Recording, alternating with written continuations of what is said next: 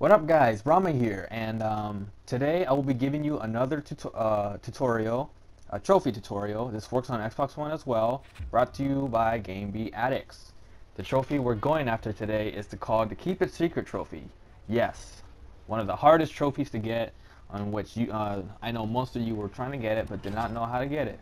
So I will be showing you how to get it today. And first you want to go to the Living Towers, but first I want to show you of how it looks like when you get the trophy. See, there's a trophy right there, and here is the date and time of when I got it. I got it at 10:37. All right, so once again, you want to go to Living Towers, and then you want to go to the left, which is the, Premier Tower. Three days left, so you better hurry. It's the Mortal Kombat 1 uh, Celebration Tower, basically. I'm pretty sure it's that celebration. Once you pick, you can pick any character as you like. I picked Mileena because she's basically my main. I know her combos. Her combos are pretty easy. You can go ahead and take your time.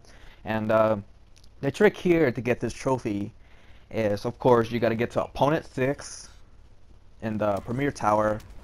And what you want to do you can spam this if you want. You can spam moves if you want though and such. But you have to get a flawless victory in one round. I'm gonna say it again. One round you have to get a flawless victory. Now keep in mind you don't have to get two of them and basically if you mess up just all you gotta do is win the game but don't finish him. If it says finish him, just pause the game and go to player select, and you can do it as many times as you want in case you messed up. And then once you um, manage to get one flawless victory, I would recommend doing a fatality, just like right here, like I did.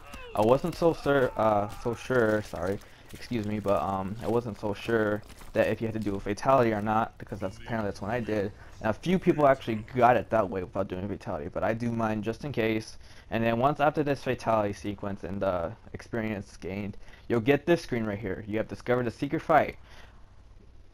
Here's where it kind of drops down. It's basically like a very hard version of fight against Reptile, which is mm, a bit disappointing.